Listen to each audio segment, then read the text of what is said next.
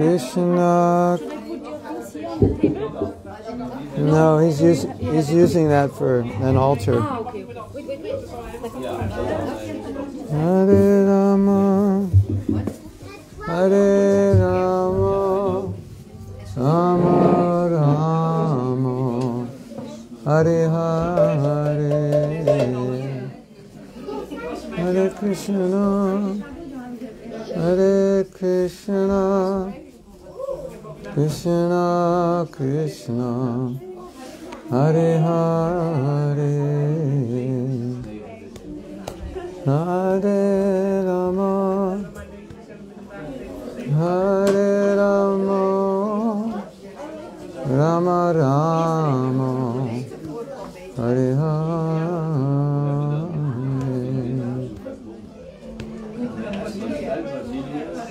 Hare Krishna, Hari बोल जय Radha Madhav Kunj Bihari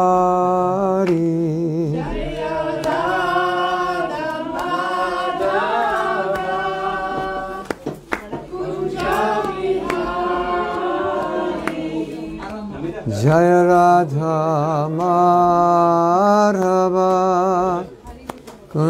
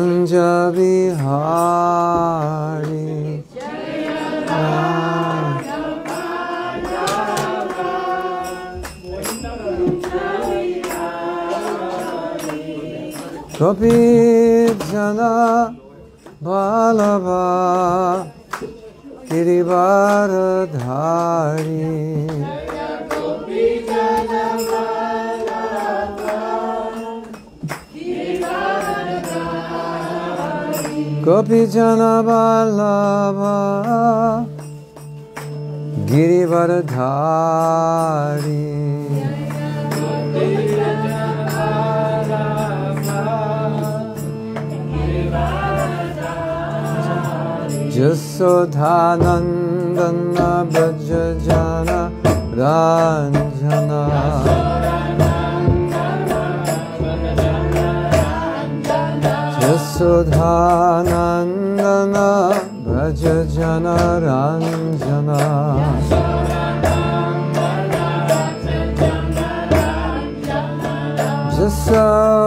Jasodanandana Rajajana Ranjana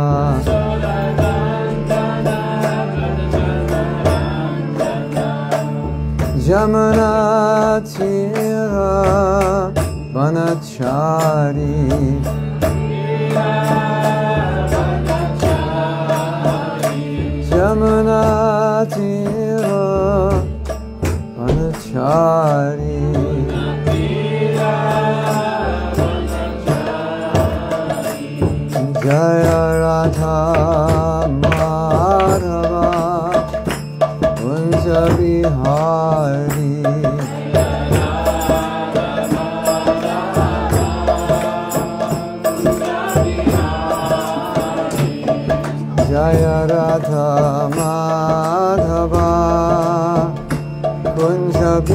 Bihari It's too high.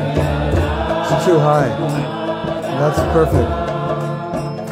Make that an altar. Gopi Jana Balaba Girivaradhari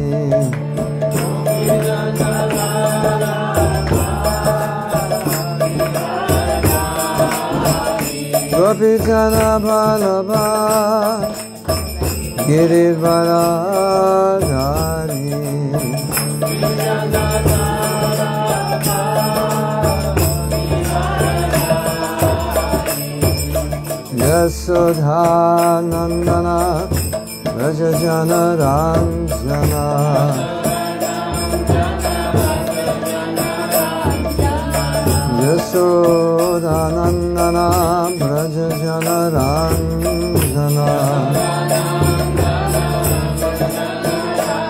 यशरानन्दन Vraj जानरञ्जना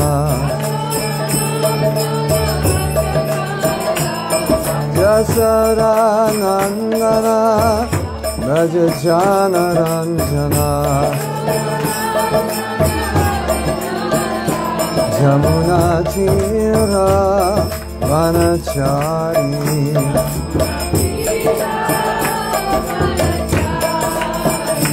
Yamuna Chera बनचारी।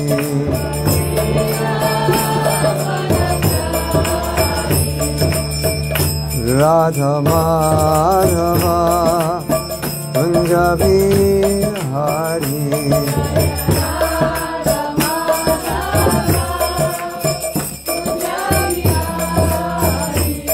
J Radha Madhava Kunja Bihari.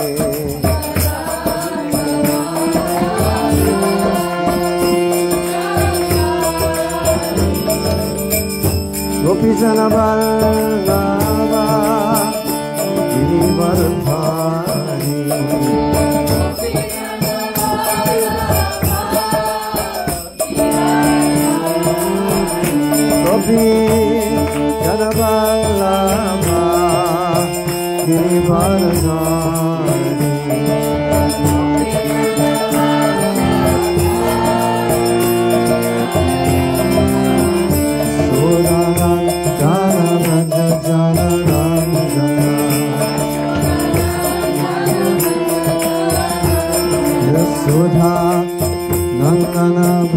gonna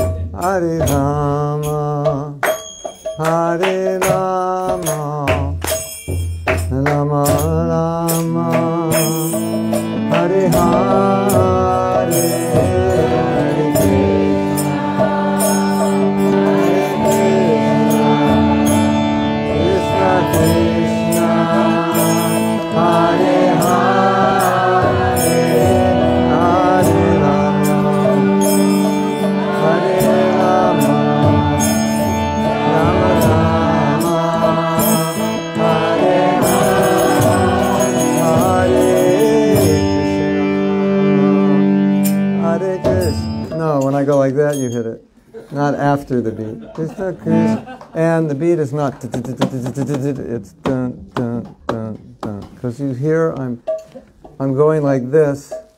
I'm not going, so you have to kind of connect with me. You understand? Hare Krishna, just listening to beat.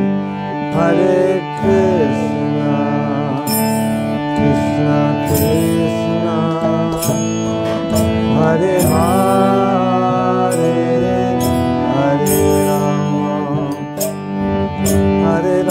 Wrong beat.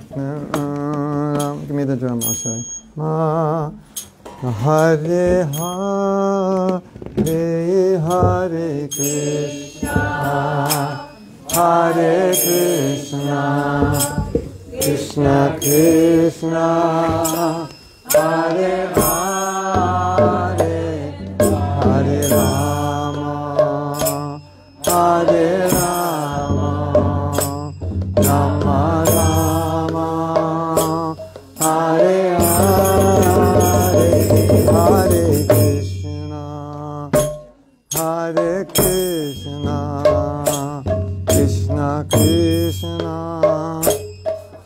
Hare Hare Hare Rama Hare Rama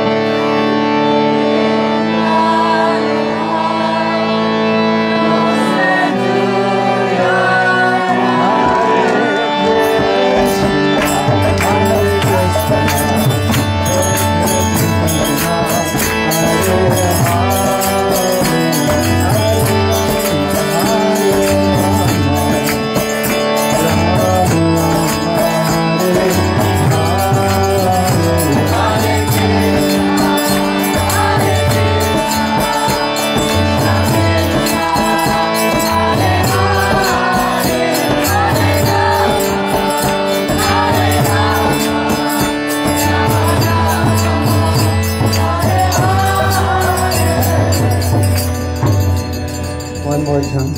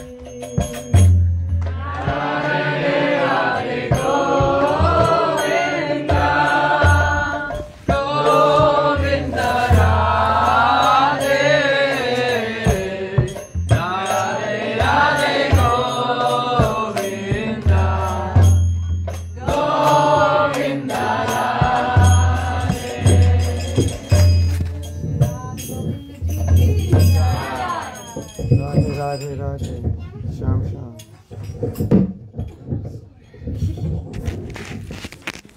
Krishna. Dear devotees, thank you so much for coming and participating in our home program today on second day of uh, Bhishma Panchaka. These are the most auspicious days of Kartik, the last five days. Started yesterday, and we have been very fortunate that we have Holy Association since the beginning of Bhishma Panchaka. So it, it, it's told that when Krishna is very happy with devotees, he gives the best gift. And the, the best gift is the association of holy saints. And Mahaprabhu has been that saint for us in Amsterdam. Keeps uh, coming to us, even though we are absolutely unworthy of it. Uh, thank you so much for coming and. I'll uh, send you the bill later.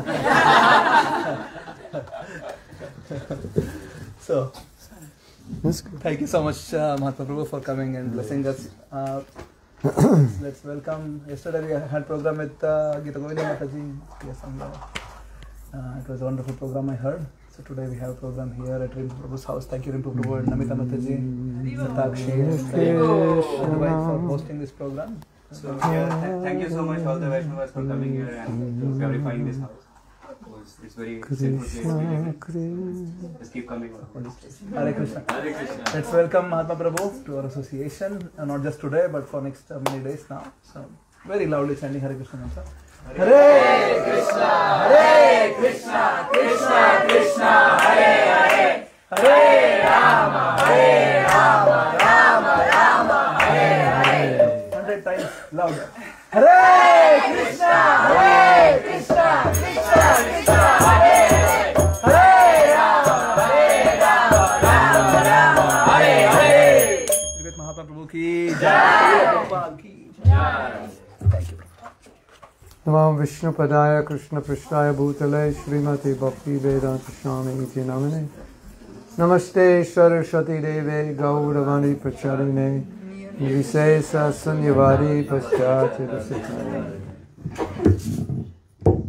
वंशकापत्थरुभ्यश्चा कृपासिन्धुभ्यैव च पतितानां पावनेभ्यो वैष्णवेभ्यो नमो नमः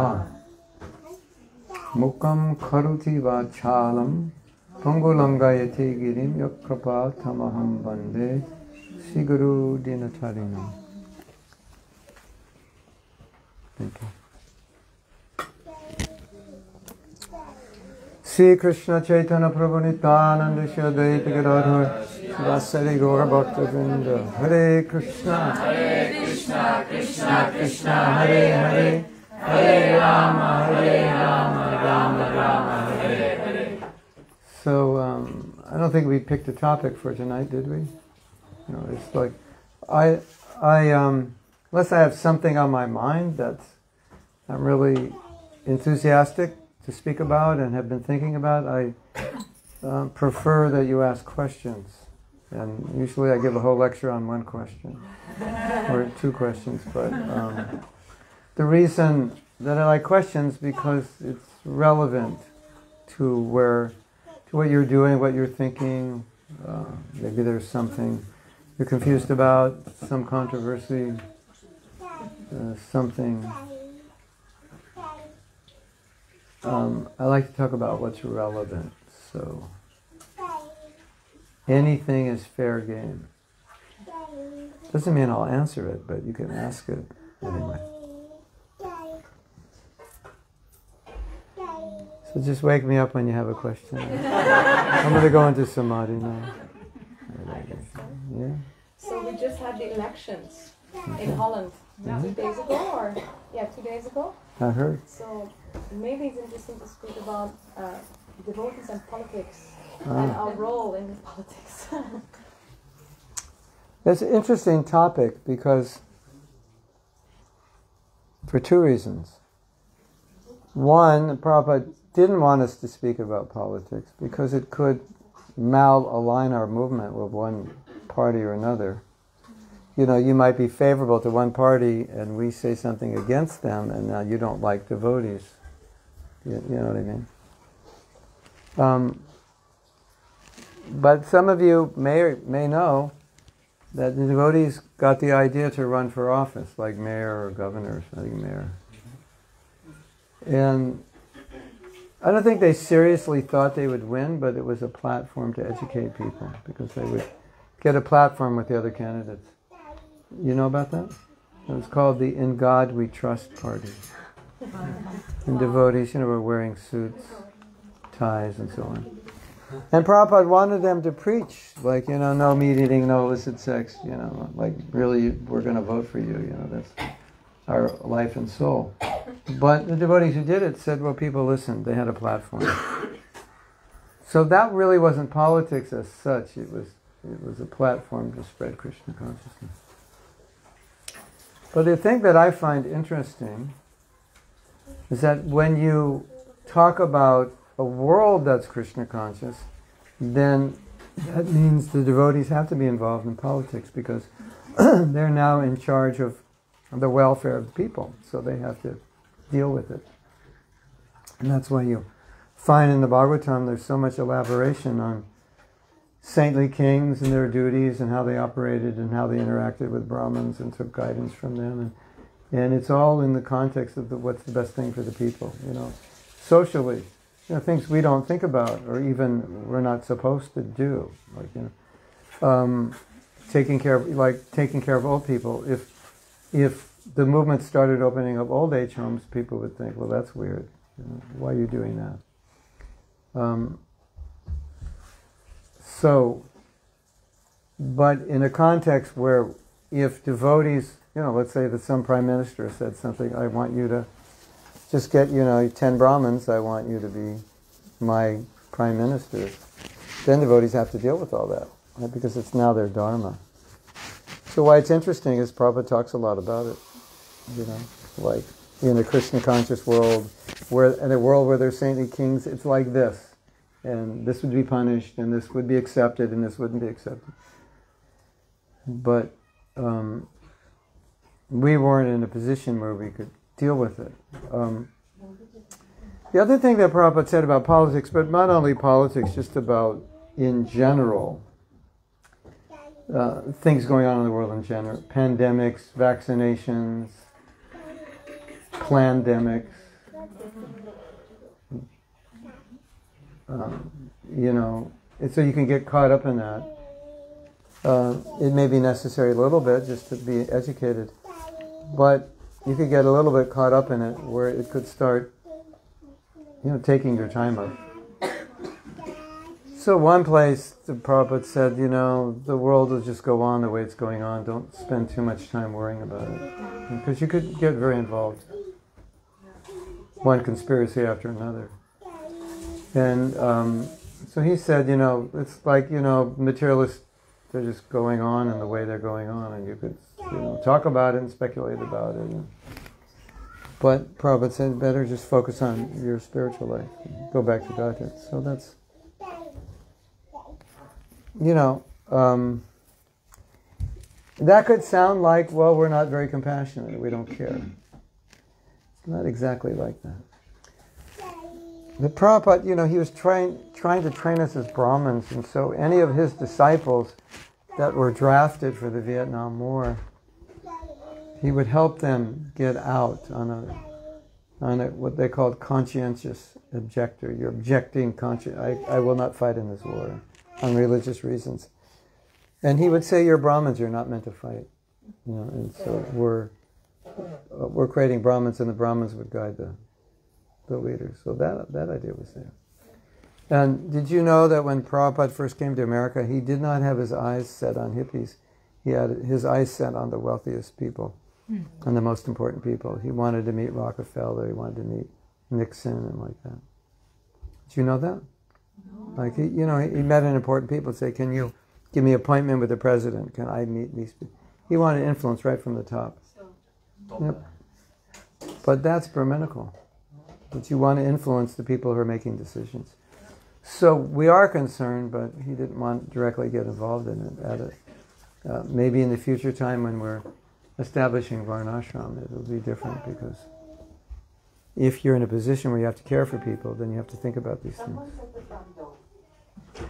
You know, like Prabhupada said, you know, our, our position is not to open hospitals.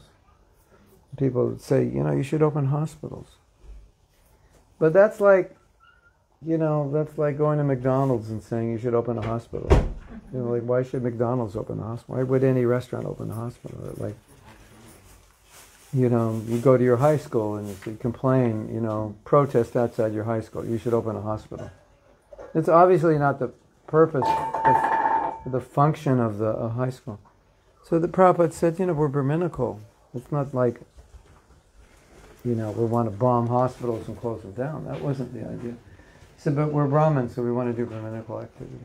So it could sound insensitive, but it's like people would ask Prabhupada, you know, your disciples, they don't, they don't contribute to society. They could become doctors, lawyers, and they're just dropping out. Of university. And Prabhupada said, there's enough, you know, it's like we don't need more doctors and lawyers, there's plenty of them. But I did find out, find out we need more hen- mental health professionals. Did you know that? Did you know there's a shortage of them? Isn't that interesting? My daughter's in that field, so I edit all her papers. So I get to learn all these things. And uh, there's statistics like the population of a city and how many mental health professionals are there and how many more you need. And practically everywhere, they need more. They don't have enough. Um, but, you know, Prabhupada said there's enough doctors, enough lawyers, enough this or that. We don't have to do that, but what we can give, they're not giving. It's special. So that was his, you know, aside from any discussion on Varnashram, which he didn't have a lot, um, that was his general general idea. But you know, go to the first canto; it's like all over there. Duties of kings, and you know, so you think, why is he talking about that? Maybe someday we'll need it. Maybe we'll be in that position. Otherwise, seems kind of um, like awkward, doesn't it? That he would talk about it so much. Maybe we'll in the, be in the position where we get to advise leaders, and therefore he's talking about these things. So. It's a general idea. It's nothing practical, but it's a general idea. So, um, one of the problems with politics is you can make enemies with people who don't you don't agree with or they don't agree with you. Right? So you know how people say I don't talk religion or politics because they're divisive. So, um, but some people are into politics, some aren't. What can you do? Um, then we had one devotee in America running for president, uh, not now, but four years ago, three years ago. And now you have someone running for president whose name is Vivek Ramaswamy. And I think it's a good idea he becomes president because everyone will be saying Rama. right? They're, I mean, they're already saying it, irrespective of, of how he'll do, but that's auspicious. Did you know that? The Indians running. Of course, they have an Indian uh, Prime Minister of the UK, for now anyway. Um,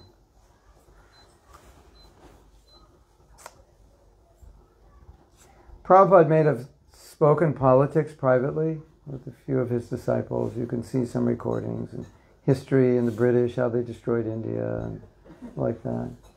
But it was never like public lecture. You know. I don't think he wanted us talking about it so much. This is kind of addictive, isn't it? Politics, talking about it.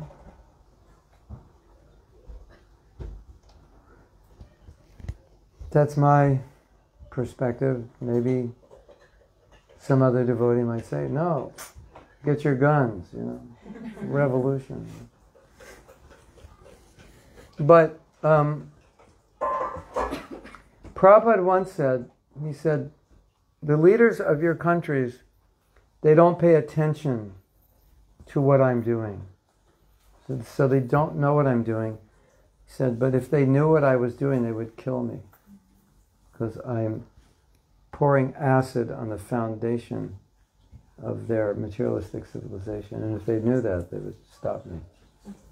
That was interesting. So, um, in some parts of the world that I preach, we are asked to not mention anything about politics because the situation is that if the government finds out that you're speaking against the government, they could stop the whole movement. So you have to be careful. And I think it was that way in Russia that the leaders could not speak against the war and against Putin. They had to support it because they were being monitored and that was required. So you know, you have to be sensitive.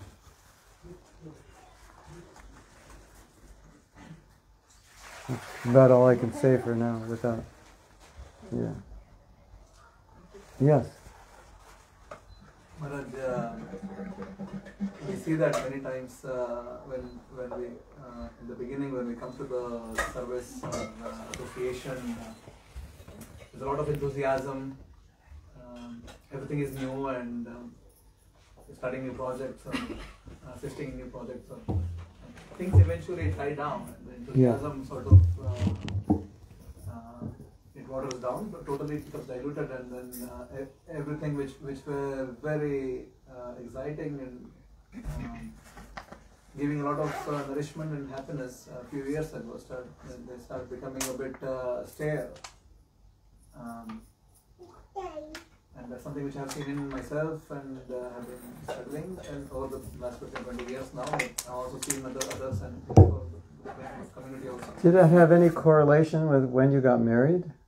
I mean, seriously, because that does happen. You know, it's just it's such a change of life, and then you have to start working. So that, that's, sometimes there is a correlation there. Um, your question is why it happens or how to avoid it, and Yeah, how- how can we keep our enthusiasm Yeah. on a high, high note? um,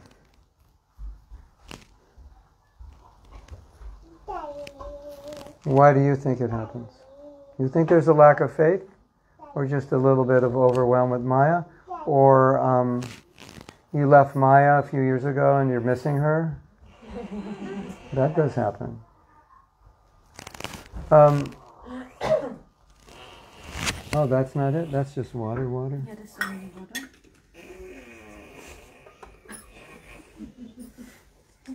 Um, that definitely happens. Um, and Prabhupada talks about it. I mean, it's not the only reason, but he says that, you know, your people come to spiritual life because of bad experience in the material world, and then they become devotees and things are nice, and they forget. And then they think, well, we have a second try at it. You know, I failed the first time. I've got rid of my misery by being a devotee, so let me go back out. It doesn't really make sense in it.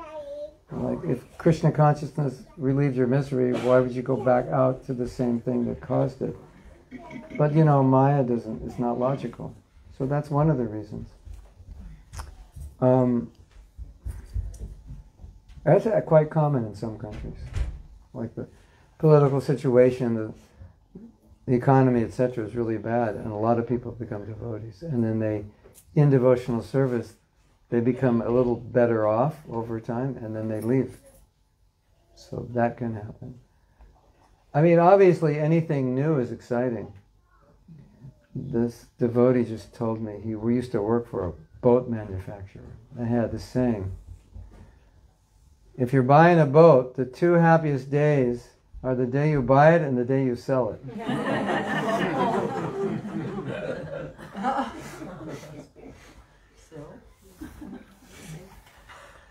So you know, you come running into devotional service, but you don't real necessarily realize what your what it actually is. And then when you have to roll your, up your sleeves and do it, you know, and you realize it's more than just street rice and pakoras and a nice kirtan. You know, there's a philosophy. Then obviously it's like, oh, I have to recalibrate this. You know, I remember. I mean, I didn't. I really was looking for a reason to drop out of university. And I didn't have a good one until I met devotees. And I said, okay, this is this is my out. this is this is a, you know this is worth it. And I can just go right out of university into an ashram. It's not no financial consideration. I don't have to work. I didn't want to work. And my whole connection with the devotees was Bhagavad Gita and Kirtan and Prasadam. And I was learning the philosophy but the, like surrender, austerity, pure devotional service, that part, they didn't lure us in with that part. They lured us in with your part and parcel, your duties to serve, and so forth. And so when I moved in the temple, after like two weeks, I, I, I realized what I'd gotten into. I was like, oh, like this is kind of like serious, isn't it? So that could be also like, you know, the the realization that it's not exactly what you thought it was, and it's going to require more work than you thought you'd have to put in. Another reason is if we uh, commit offenses or we don't execute devotional service properly, then around the, the creeper of bhakti, weeds grow. And if you don't pick them, they suffocate your creeper. Um, another reason is people, like if they do it when they're young, and, you know, 19, 18, 20, and then when they're 30, they're like, oh, you know, I was a little too fanatical and, you know, I renounced everything and, you know, there was, um, yeah, what was this? Yeah, devotees have told me, like, I joined when I was like 16. I, you know, no illicit sex, no intoxication, no partying, no drinking, nothing. And now I'm 40 and I want to do it because I never did it. I miss, you know, like, yeah. I mean, obviously not everybody, but that can happen. Um, I was thinking about it today. Maybe not your question, but I was thinking about why people. No, it was basically why people give it up. And I was feeling, at least from my personal experience, I was feeling like a deeper connection both to the philosophy and the mission and Srila Prabhupada. Like you, like you have to be so connected that it's just like there's no question that you don't want to do this. But faith is weak. You don't have a depth of understanding of the philosophy. You're not connected to the mission of Prabhupada. You don't have maturity to understand how to pace yourself over time. Then any of those any of those things could create problems because you know you went too fast too and you're like, okay, I went too fast, too much.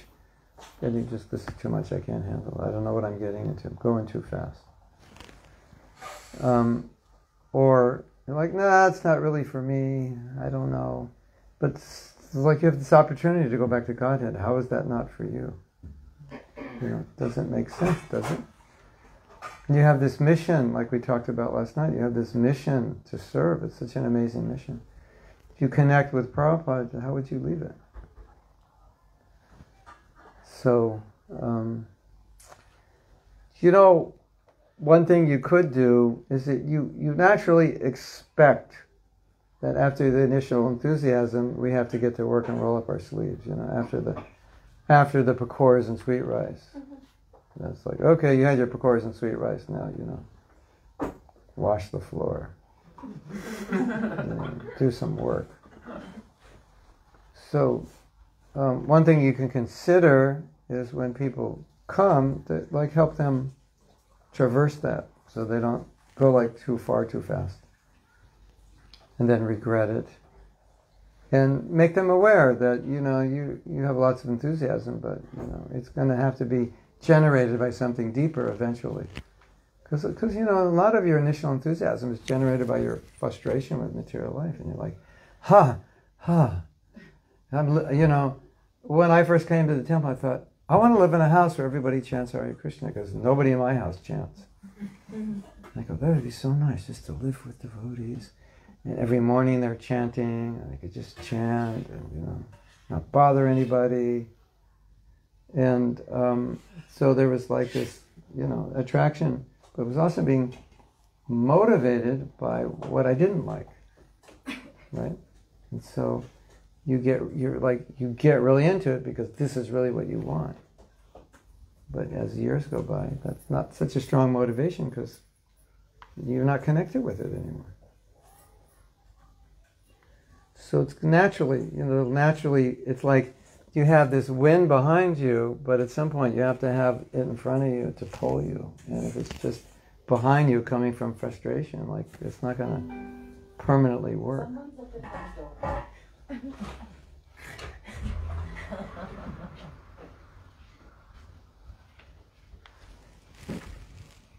Hmm.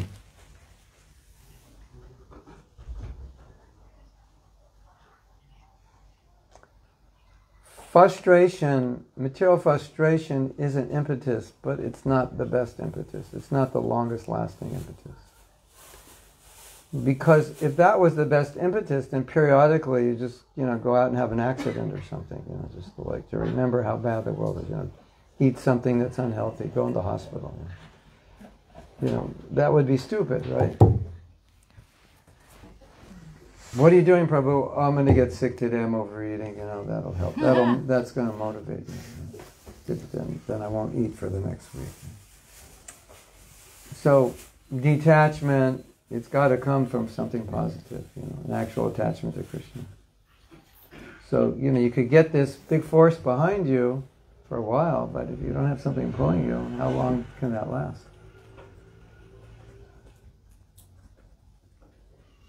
You know, one, one guru back in the fanatical days, he said, look, you know, if you want to get married, find a girl you don't like and marry her. Because the marriage will be so bad, you'll just get out of it in a few years. And it's like, okay, is that our philosophy? I don't think so. But Gaur, Gaur Mohan, he said to Srila Prabhupada, Prabhupada wanted to marry another girl. Yeah. He said, You don't like your wife, it's a blessing.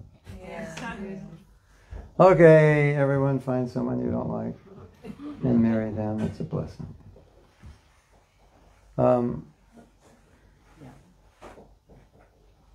well, if it's your second wife. Um, I think it's a little circumstantial, you know, because he wanted an English wife, right? Really? That's what he said. Oh, I didn't know that. His, his mother wanted him to become a lawyer, and they were going to send him to England. And he, Prabhupada said, "This is what he said." He said, "I thought I'd get a white wife and have white children." My father wouldn't allow it. He said, "I didn't like my wife," and his father said, "Yeah, that's good. You won't become attached." But Prabhupada said she was nice. It wasn't like you know. Just he wasn't that attached. I don't, maybe he wouldn't be attached to any woman. Who knows? Um, but it's obviously not the process to uh, you know, find something horrible so you can suffer.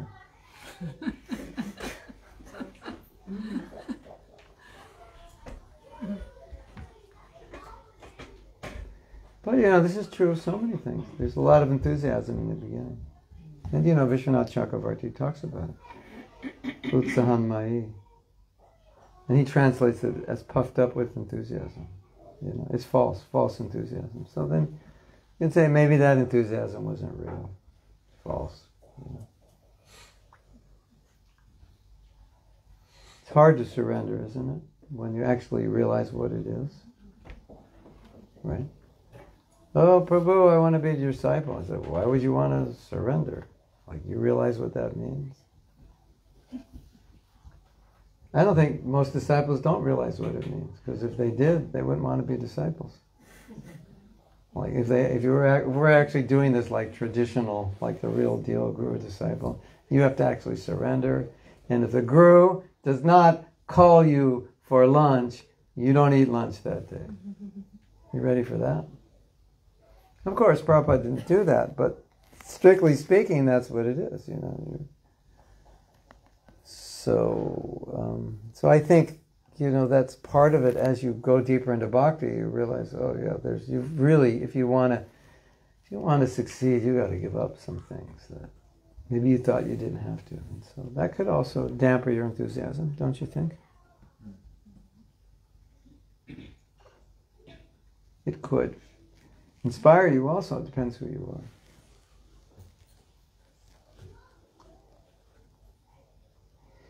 You know, you're all sitting here thinking, oh, I wish I had Prabhupada's association. Well, a lot of his servants had it and left. It's just too intense.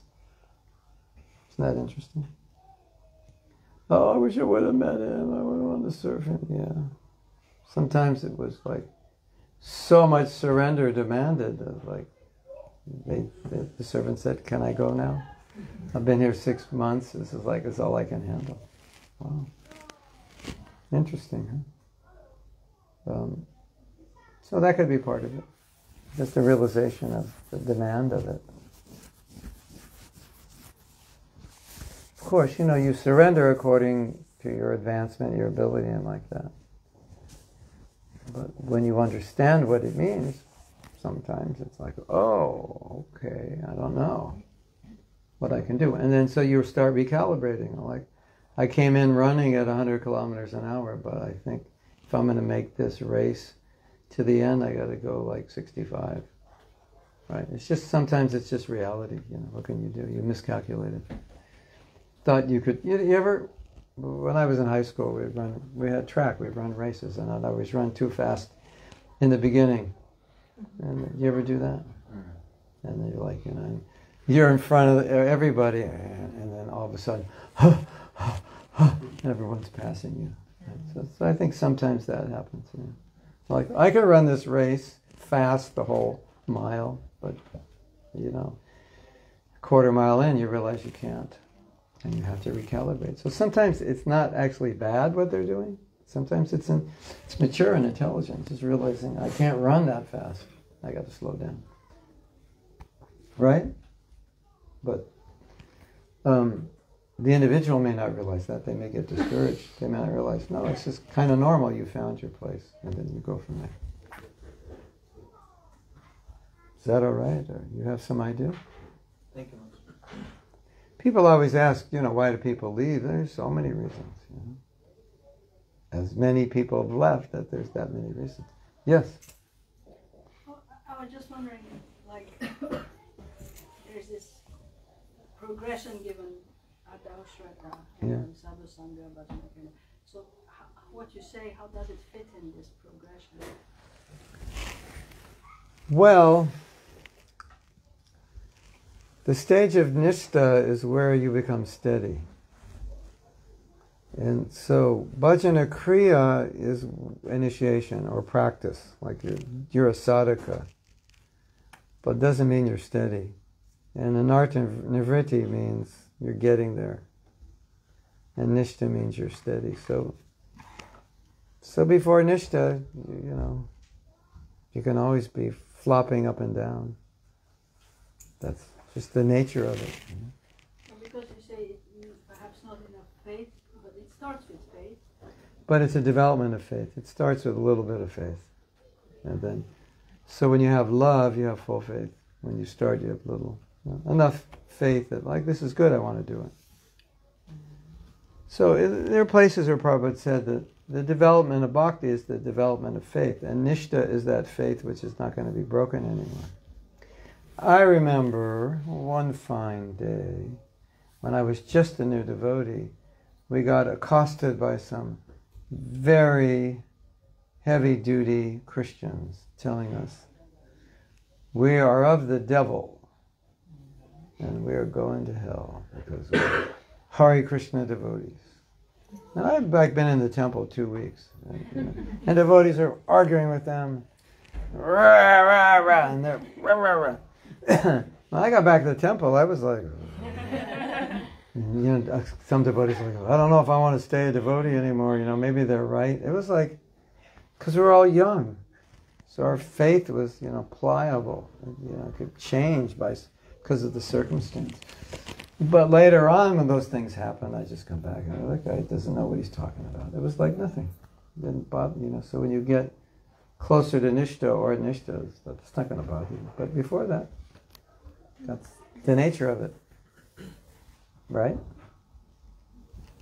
Yeah, because nishta means steady, and nishta comes after anartha nivritti, which means the things that would make you unsteady are pretty much gone now. Now the bigger obstacles. And so- Sadhu Sangha, what's the role in this? Because it starts with a little faith, and then you get Sadhu Sangha. Yeah, um, but but faith and sadhusanga are are always there in every stage, obviously. But that's you know the way Rupa Goswami pr- pr- um, shows it is that well you can't do anything without faith. You won't step. You won't make any effort to be a devotee. And, and sometimes faith is described as appreciation. You just say devotees are good. I like them. Let me get one of their books. Let me go to their temple and then you like the devotees. Oh, these people are nice. I like them. I can relate to them. This is my tribe, spiritual people. And that's gonna. And then Prabhupada said, and when you associate with devotees, you'll say, oh, I want to do, I want to do sadhana. I want to do what they're doing. So the sadhu sangha leads to bhajana kriya, and the bhajana kriya leads to anartha nivritti. So now you do your sadhana, and your unwanted habits and desires start going away. And when they're sufficiently gone away, there's no obstacle anymore internally. so you're stable. And then your faith's not going to be shaken. Your your devotional life's not going to go like this anymore. Good day, bad day. 64 rounds, no rounds. Three principles, seven principles, four principles. It's not going to go like that. Oh. This is my mineral water. I have to take a half hour before we eat. That means we have to eat it. Half hour. It's going to be a late night tonight. Oh, it's Friday, right? No problem. We need to do Damodara Ashtakam. uh, Yeah, we'll party all night. Don't worry. Damodar Ashtakam is included at no extra charge. Is that okay? Did that make sense? Hi, Krishna. Um, so we have um, Bhagavan realization and Paramatma realization. So I was wondering, that, um, and the lovely prayer that you taught us at the Holy Name retreat about, um, you know, um, bring my heart closer to your heart, and Paramatma is in the heart. So I was wondering that when we are um, looking for guidance, do we go internally to our Paramatma to guide us, or then, or do we go we pray to Krishna. I mean, it's Krishna anyway, but how would we see it? I was just going to say, Radha Gokulananda is in your heart. Is that true? and Lord Brahma says, Yam Sham Shandaram Achinta Gunasram. He said, I see Sham Sundar. He didn't say, I see Paramatma. So that Krishna that's in your heart is the Krishna you worship. So, of course, Paramatma comes as intelligence. Karmendriya Devi Dasi. She doesn't know. Um, can you get me a spoon? That's not a real name. Car- her name's Carmen, and Karmendriya means working senses, like the hands, the legs. You know. If you had the name Karmendriya Devi Dasi, it means I'm a servant of my senses. so it's not really a good name.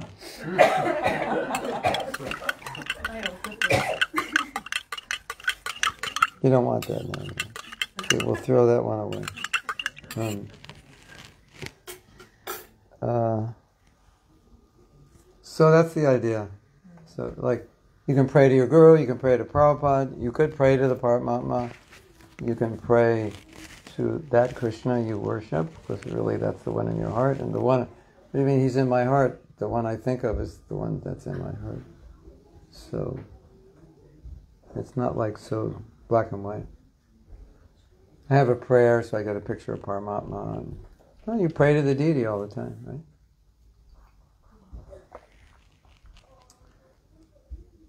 Does that make sense? Or you were asking something else? Well, I was just wondering whether is it wrong to try and connect to. I, I suppose. Paramatma? Yeah, if you're in Shantaras yogi, yeah, that's what you do. Mm-hmm. But for us, we're not trying to like become Paramatma realized. We're trying to go to Braj and worship Radhe Shyam.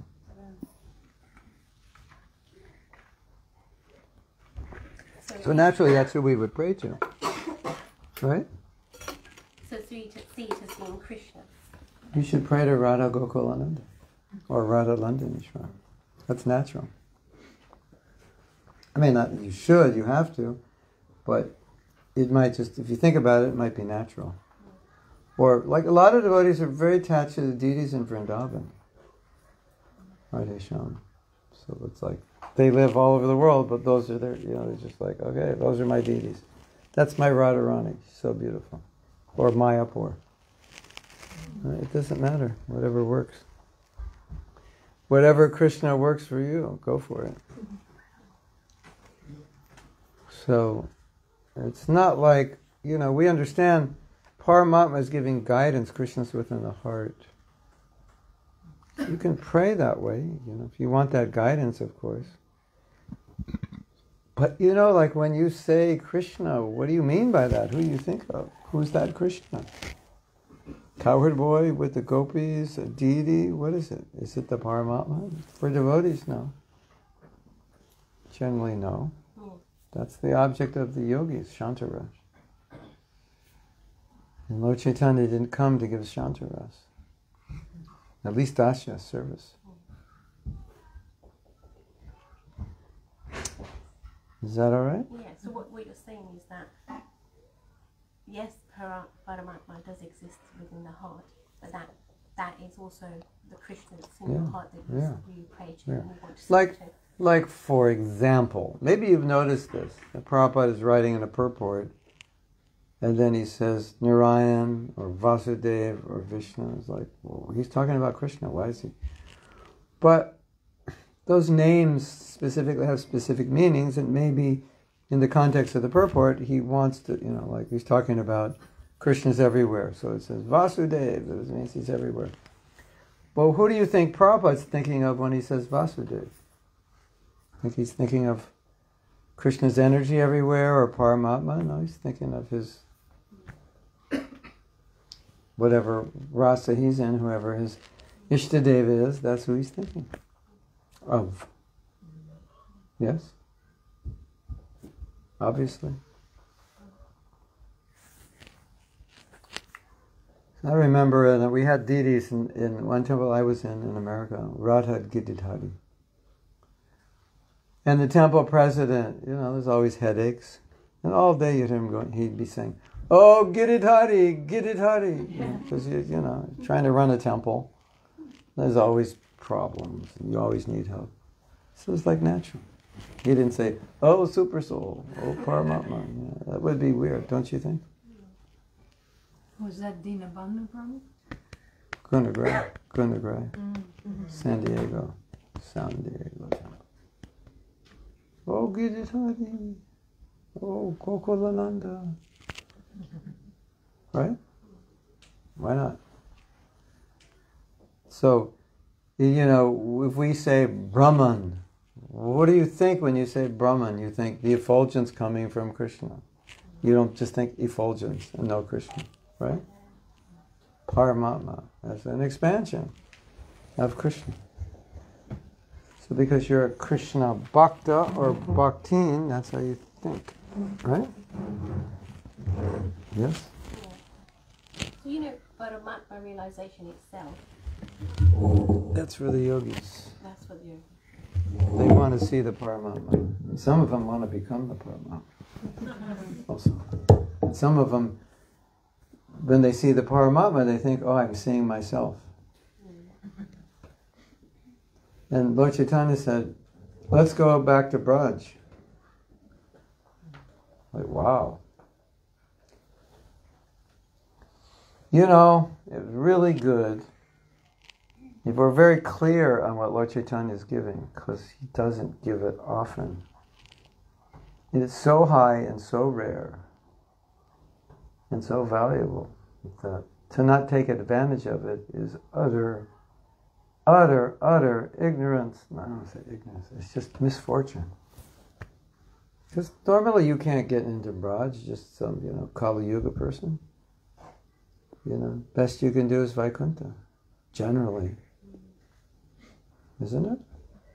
On reverence. And Lord Chaitanya says, forget the on reverence stuff. We're going to Braj. Spontaneous bhakti. Just love me. You know, do your sadhana, but the goal is to love me. And, you know, like, if you chastise me, that's like way better than chanting, Om Purnam Purnam Idam. You are the supreme, you are the greatest, magnificent, the whole. No, just chastise me. I like that better. Yashoda with the stick. Krishna's like, yeah, this is what this is what I'm into. And the Brahmins come, and he's like, oh, whatever.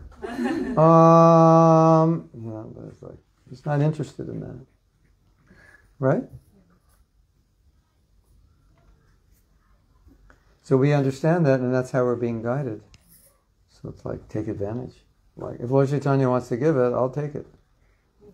You know, Lord Chaitanya is giving you Braj, Prema. You don't want to say, uh, but Mahaprabhu, I have a question. Um, you giving out Paramatma, or should I worry about it? It's like we're going to go. We're going to Braj. We're going to worship Radhesham. You could be a gopi. You could be a coward boy. You could be in paternal ras. Go for it. I'm giving it out, you know, limited time offer, you know, next 10,000 years after that, it's over. Not even 10,000 then, right? We're, it's like 9,000 and what, 460 or something. Time's running out, ladies and gentlemen. You want to go back to Braj, you got to do it, you know, soon. Limited time offer. Black Friday. Yeah.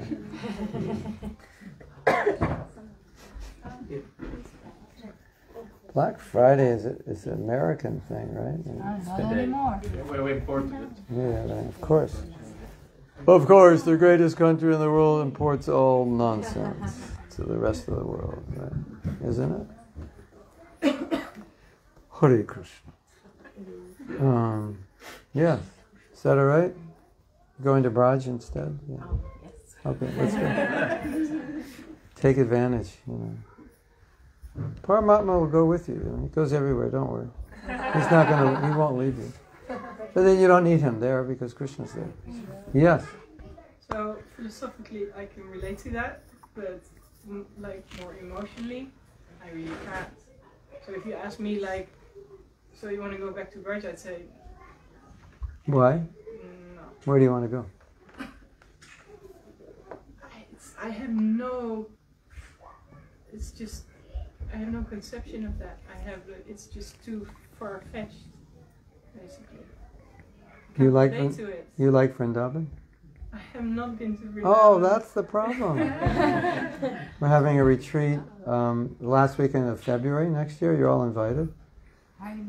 Go. To mahatmadas.com and register now. All the good rooms are going fast. Next? Friday offer again. Seriously, yeah. This I can't make a Black Friday offer because it's already too cheap. we, all we do is just charge you what we pay, so we can't. You know, it's just our cost. We can't go up. You need to go to Vrindavan. That's the solution. It will solve this whole problem. Because you know the cool thing about Vrindavan is when you go there and you go to the places where Krishna had his pastimes. When you're going back to Godhead, you get to go in those pastimes. So now you're going to the actual place that you, you could be going. So you could say, "Oh, I like this mood. I like this place. I like." And you talk to the people of Vrindavan, and they're all Radhe, Radhe, Radhe. And you start, oh, we start to get it, and then you can relate to it. Or maybe you're a Chaitanya Bhakta and you want to take birth in Chaitanya Lila. You go to Mayapur, check it out, see how you like it. But you, you, you, that's the closest we can get to the Leela because that's the place where they happened. And we go there and we hear about it, and the people are like, the people in Vrindavan are like crazy over Radharani. And to see it is so powerful.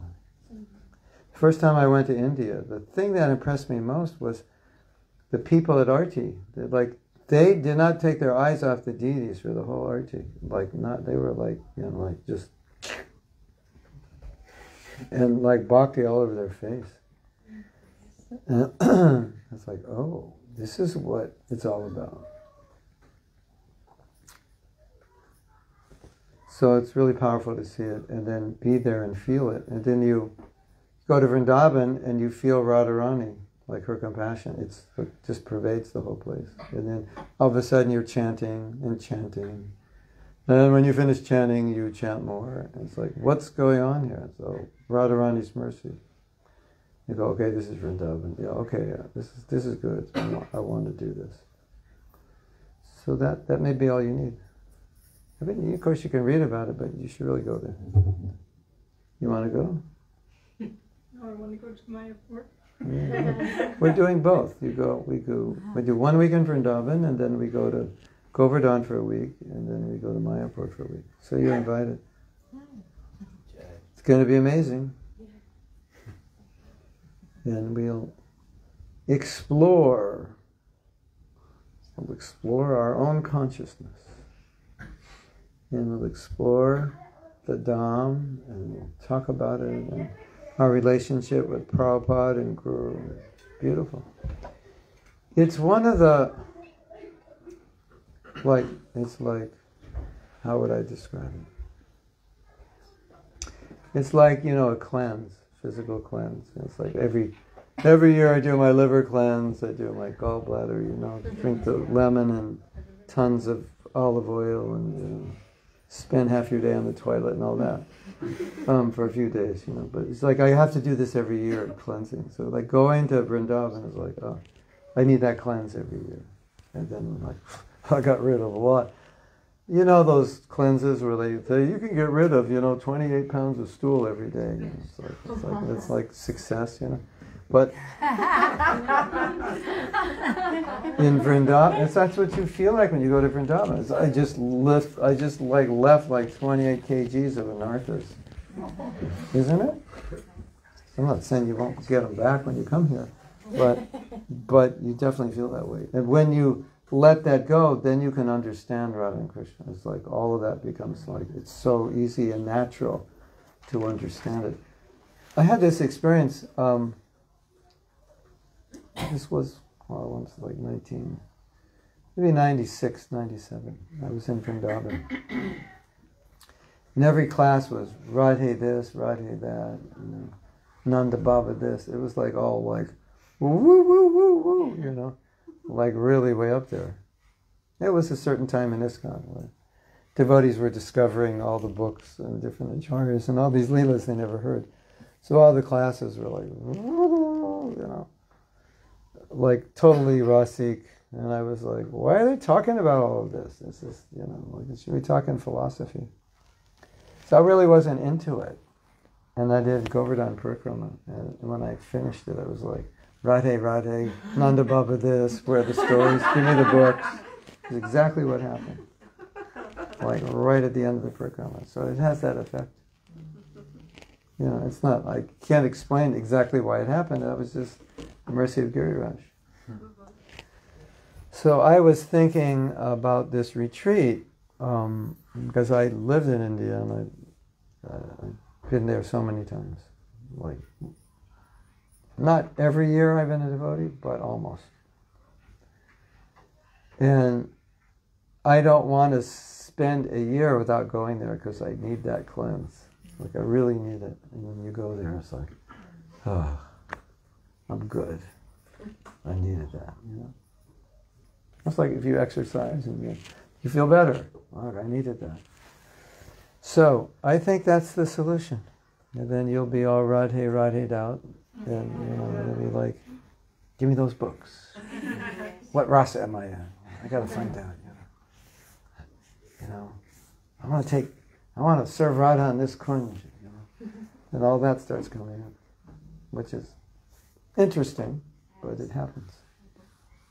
So anyway, think about it. Yes. Yes, uh, thank you so much.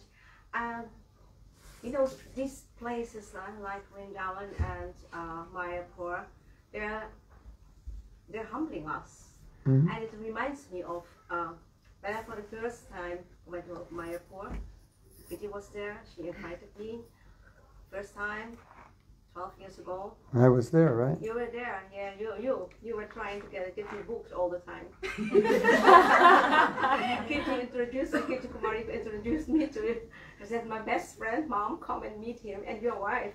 Ah. And uh, okay, I thought, oh, that's the man from the books, you know. I was sometimes escaping you and now it isn't there. So when I was I don't remember, but anyway. in Mayapur, um, so um, I, I told my Guru Deo, His Holiness Kadamba Kanana Swami, I told him, I'm not going to the temple anymore. Really, it's, it's, it's terrible. I'm not going. You know, you know all these Bengali people in the temple. They just, you know, pushing, pushing like this, and it's not nice anymore. I can't see the deities, and uh, for me, it's And they don't say, excuse me, and they don't use deodorant. no, no. So and you know, and you know what he said? And really, I started to cry. He said, listen, Gita Govinda. No, my name was Gisela at that moment. I wasn't initiated yet.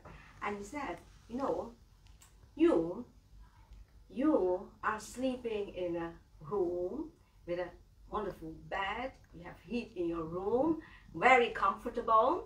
These guys, they come with buses from the middle of nowhere. They come here and look where they're sleeping in the cold every night outside in the cold. and uh, they buy. They don't have money, but the last rupees they buy the ticket to come here. And you know why they're not there at 4:30 for the Mangala Arti, but at 3:30? Is that because they're so eager to see the deities, and that's why they push everybody. They wanna see the deities. Yeah, yeah, that's yeah. their only goal. Yeah. And you just think about you coming from the west and Yeah. a nice place and all these things. And that really that humbled me so much. We don't see uh, we, we just see the outside external, external things like pushing people. But they're pushing because Oh, out, yeah, yeah. out of love for Yeah. the Lords. They're so greedy and so eager to see the Yeah. Lords. Yeah. That they totally forgot everything. They're, they're, not, they're not a will. And that's also happening in Vrindavan. Those places are humbling us. Oh, yeah. That's my, I, I speak for my own. Yes. Thank you. Uh, I have a story. You know, Mayapur gets crowded with tourists, and you know, a lot of devotees come up to me and say, "I don't like it. This is like my home, and these people have invaded my home." You know, it's like, well, you know, it is not exactly just for you, and like, so I said, you know, if you're going to live in Mayapur, you have to appreciate Bengalis. Because otherwise, that's, you know, you're in Bengal. And how can you live somewhere if you don't like people, right? So I always try to appreciate them. Like you say, you know, they're coming, simple people. And so one day it was, it was like lots of people, one of the most crowded days. So I was thinking, I have two choices either to appreciate them or go crazy and commit offenses to them. And I thought, well, better I appreciate. So I was like, oh, these Bengalis. Amazing. They're all coming here, these village people. It's so nice. As soon as I did that, a man came up and embraced me. he just started smiling and embraced me. It's like, it's like, you know, it's like, okay. Put out the right vibe and, you know, they pick it up. And Yes. So we'll see you all there in Govardhan. You can sign up tonight.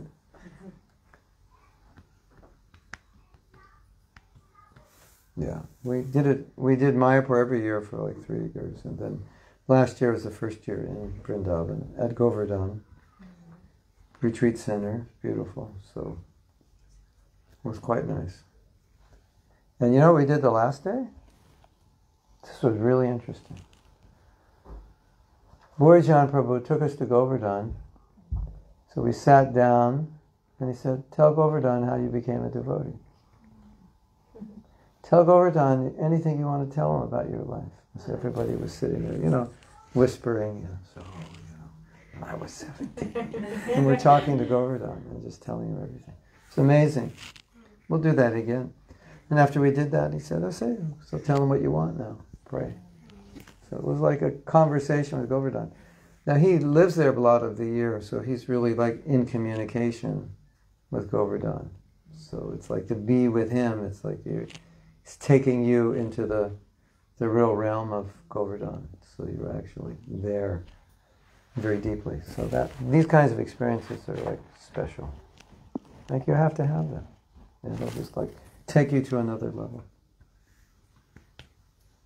Yes, so it's the last week.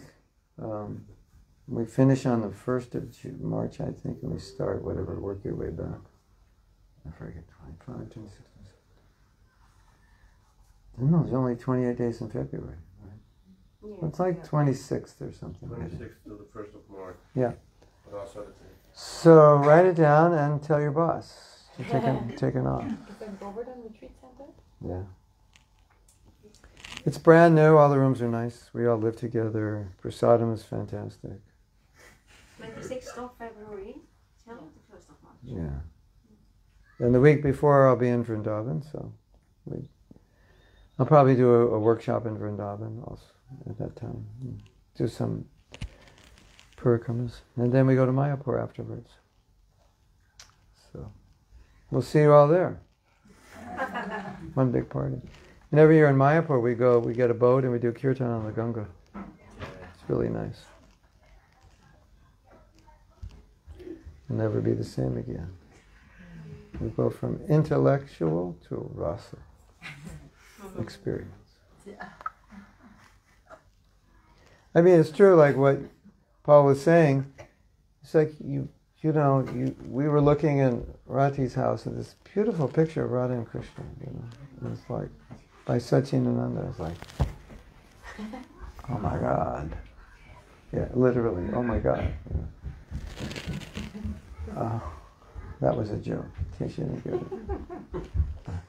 So I'm looking at this picture of God saying, "Oh my God." And I'm looking at it and I'm thinking, like,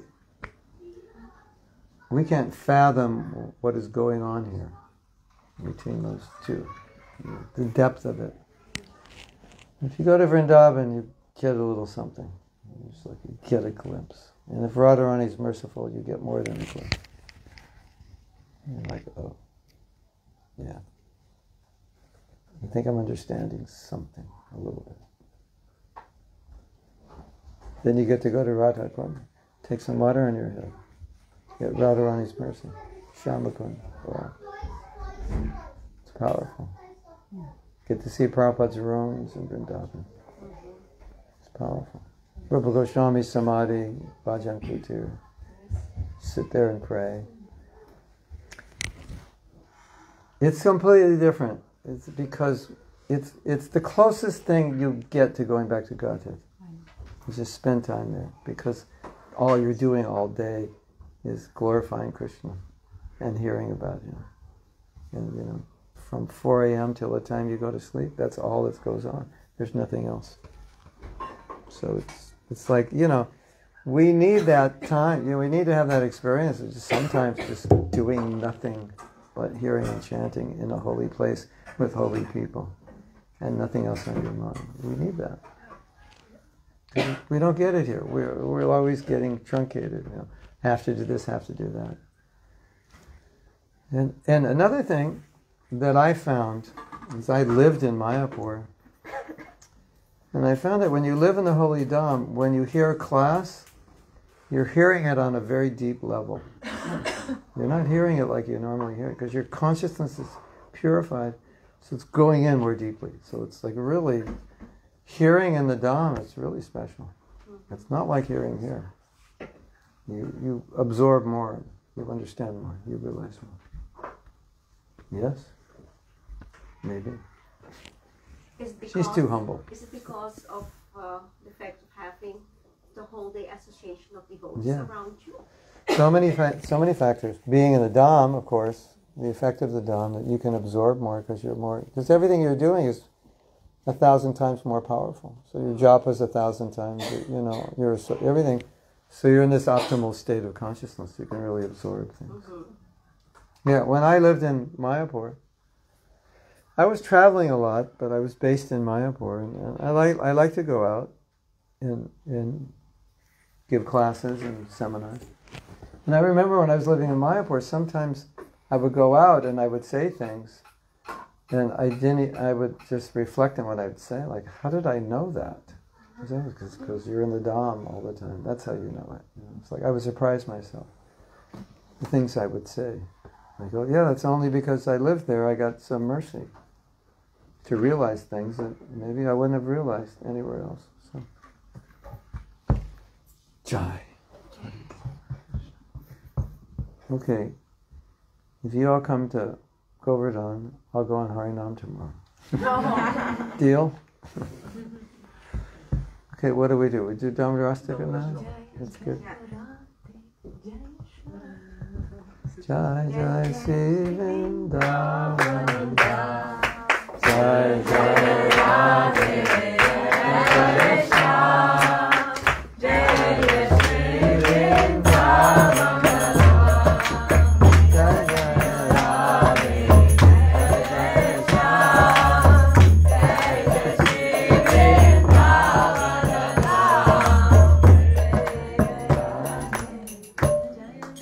you know, you know this this Sahaja Nitai Gaur Radhe Sham Hare Krishna Hare Ram. You know that mantra?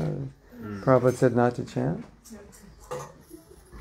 Right behind the temple, they chanted. sang, you know. uh, Nitai Gaur Radhe Sham Hare Krishna Hare Ram. Prabhupada said it's, it's a rasabhasa, it's not proper. He said, you can chant Nitai Gaur Radhe Sham Jai Krishna Balaram. Nobody chants it. I think everyone's afraid to chant it or they don't know, but Prabhupada said you could chant it. Jai Nitai Gaur Radhe Sham Jai Krishna Balaram. Hare Krishna. Okay. Ladies and gentlemen, it's time to light your candles. One little candle offered to Damodar. Wow, you know, it's like you think that's insignificant. But what is the benefit of offering a little insignificant lamp to Damodar? Like so much benefit. Right? So I need the words because I'm, I'm not Shruti-dhar. And I can get lines from verses mixed up.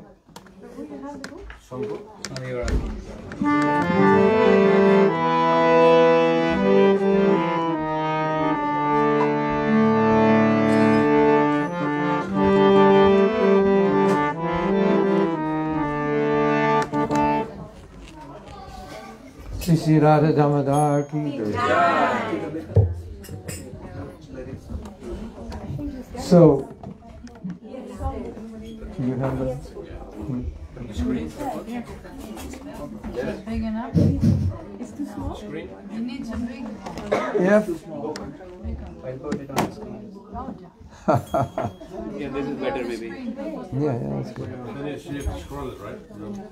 Shall I scroll it? Yeah, You can maybe scroll it for me. Um, It's gonna be on there. why don't we pretend we're in Krishna Balaram temple now? Why don't we pretend we're in Krishna Balaram temple? And we're chanting the um, Radha Damodar, we're chanting the Damodar Ashtaka in Krishna Balaram. Can we do that?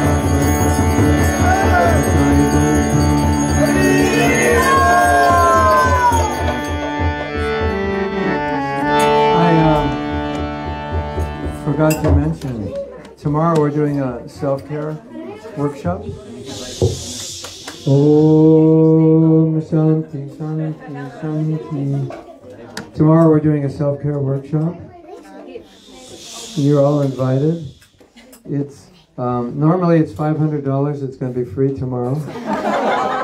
Um, it starts at ten. Black Friday. If you come at ten and one, it's five hundred dollars, five hundred euros.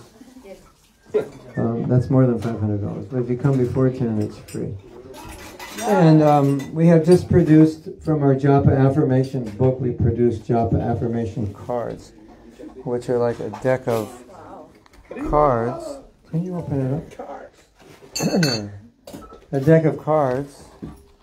Each card with one affirmation. And on the back, you have the affirmation on the front. On the back, you have an explanation. They're made of plastic. You can spill prasadam on them, and they're still good to go. So they're available. Um, they just came out, hot off the press, first time in Amsterdam. It's good for your japa, and they're good gifts for Christmas. How many do we have here, Goshan? A hundred? Uh, today, I have a whole box. Like a hundred, two So they have to come tomorrow to get it. Uh, no, I have, I have like a 30, 30. You only have thirty? Here or at home? Well, then you're gonna have to come tomorrow. No, no, I have 30. We have 30 with us. They're selling fast. Get them before they go. Quantity discounts available. Hare Krishna. Hare Krishna. Second. You, you, you make a note.